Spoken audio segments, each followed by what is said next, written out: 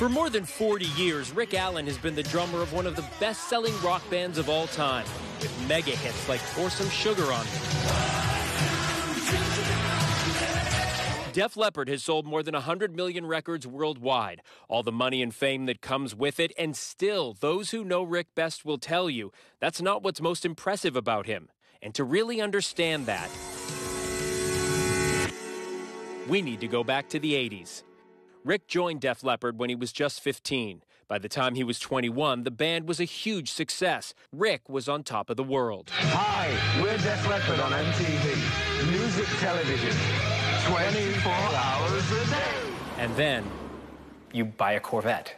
Ah, yeah. December 31st, 1984, an afternoon drive in that Corvette would change the course of Rick's life.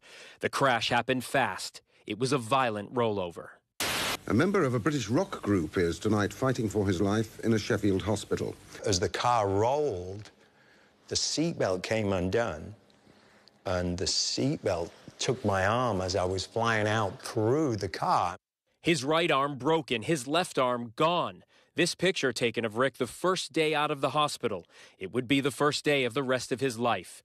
Relearning how to do everything from water skiing and shooting pool to playing the drums with just one arm. The band stood by Rick, and when he was strong enough, Def Leppard went on recording and touring, releasing Hysteria with a chart topping hit, Love Bites. The band's most successful album to date. So, this is where it all happens. Today, with the band on a pandemic pause, we visited Rick and his wife Lauren at their California home. In their recording studio, Rick shows us his drum kit and how the technology allowed him to sound like he did before the crash. The foot pedals sort of mimic what your left arm would do. Absolutely what it does. Instead of this being a snare drum, it would be, say, Tom 1. Just so, let's see, I'm playing, you know.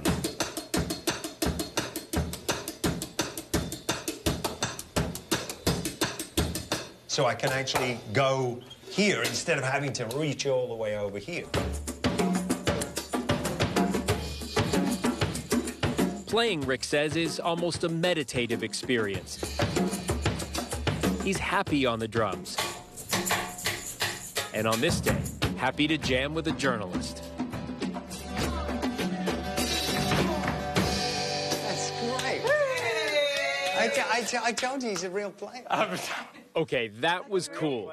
Right next to Rick's recording studio is his art studio. Going close, and it's like, what is that? Rick loved art as a child. He showed us this picture he made for his mom when he was five.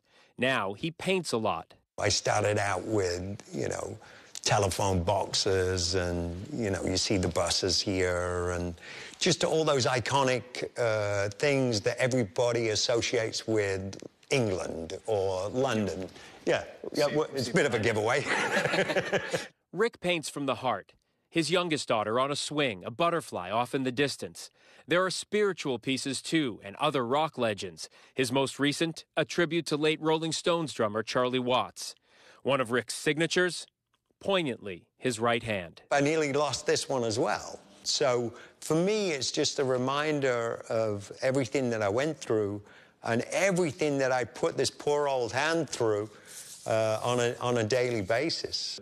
Rick's art sold at Wentworth Gallery, owned by Christian O'Mahony. The impact that he can have on people because of the similarity that he has with people that have suffered that type of trauma, uh, he really sees it as a blessing. Depending on the size of a piece, Christian says collectors are paying up to tens of thousands of dollars. Rick began donating part of the proceeds to the Wounded Warrior Project after a visit to Walter Reed Medical Center in 2006. I was so taken by the, the, the, the, whole, the whole thing, the whole visit, and how much people looked up to me and what, what I'd done. But then I saw what these guys were going through. Just a very humble man, just, just wants to be a human amongst other humans and, and see how he can help others. Norby Lara fought for the country and felt immediately connected to Rick and Lauren. It was um, really cool to be around someone who had been through something you know, very similar to myself, losing an arm, and still being able to smile. Lauren is a singer, songwriter, and teacher. Rick says she's been helping him heal physically and emotionally since the day they met 20 years ago. Today, they run the nonprofit Raven Drum Foundation. We collaborate with different nonprofits uh, to be able to facilitate healing through programs and fundraising and concerts. A focus on veterans with head trauma and PTSD, both Rick still grapples with. When I met Rick, he didn't know he had PTSD.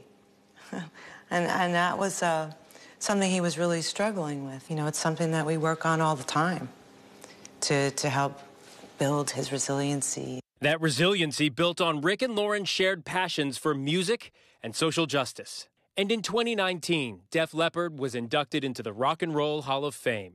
He survived it and came out the other side stronger.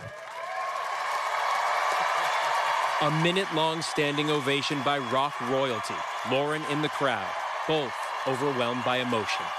If you could go back into that hospital room and tell the 21 year old version of yourself one thing that would help him get through the rest of the hospital stay, what would it be?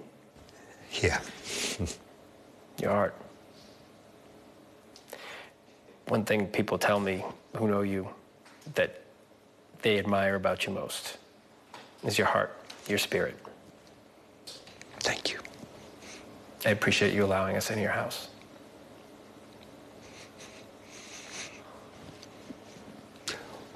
Yeah. Sorry. Give me.